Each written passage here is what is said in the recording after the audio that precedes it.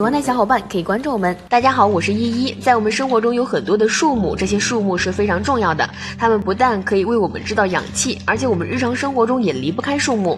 比如说用来盖房子，或者是说做家具的，都离不开树木。黄金是一种非常有收藏价值的东西，因为从古到今，黄金都是非常昂贵。可是有一种木头要比黄金贵，这种木头就是金丝楠木。很多人都有疑问，为什么金丝楠木比黄金还贵？把这个金丝楠木给切开后。发现贵是有贵的道理。